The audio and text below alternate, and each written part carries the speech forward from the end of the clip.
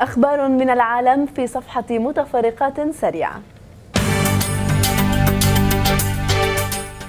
ذكرى عماد السيد المسيح على يد يوحنا المعمدان بنهر الأردن أحياها المسيحيين اللي بيتبعوا التقويم الشرقي اللي تجمعوا بعدد كبير حد النهر ليتباركوا من المي ويغتسلوا فيها ورفعوا الصلوات على نية السلام بكل العالم.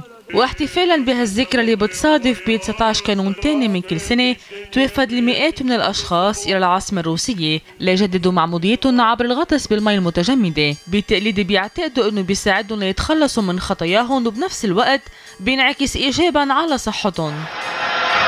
إلى المكسيك حيث عثر علماء الآثار على عدد من الأواني والأدوات اللي بيعود عمرها لأكثر من 1200 سنة واللي بيعتقدوا أنه قبائل المايا كانوا يستعملون. العلماء أكدوا أنه من خلال هالأواني رح يقدروا يعرفوا أسلوب ونوعية الحياة اللي عاشوها أفراد هالقبايل هالصورتين اللي عم نشوفهم منن لنفس الشخص لأنه الصورة على اليمين هي صورة بورتريه للرسام العالمي فان جوخ أما على الشمال فهي من صنع مصور فوتوغرافي ليتواني.